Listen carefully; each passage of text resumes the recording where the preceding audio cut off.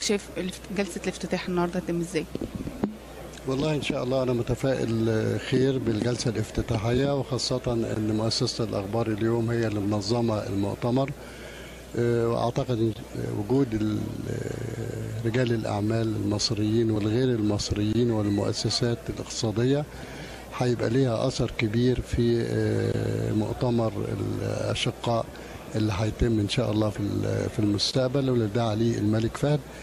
أعتقد بإذن الله نجاح المؤتمر ده هيبقى بداية لنجاح مؤتمر المشاركين مع مصر للمرحلة المستقبل بإذن الله إن شاء الله.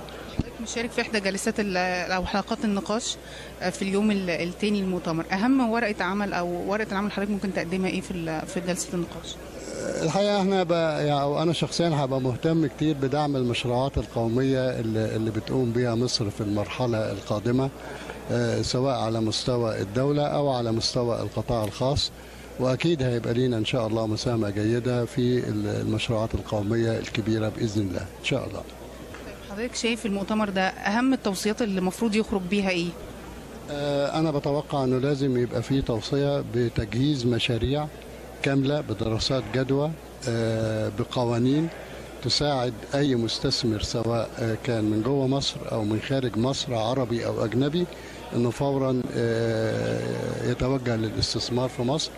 وخاصة إن الرؤية السياسية اللي موجودة حاليا والثقة اللي بتديها في وجود المستثمر كفيلة بوجود استثمارات عالية في مصر في المرحلة القادمة إن شاء الله.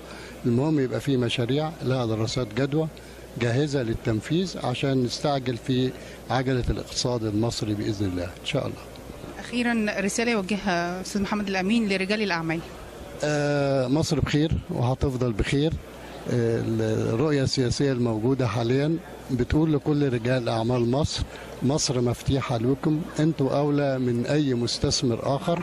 مع احترامي لكل المستثمرين العرب والأجانب مصر بلدكم محتاجاكم وهتديكم على قد ما هتدوها. أشكرك.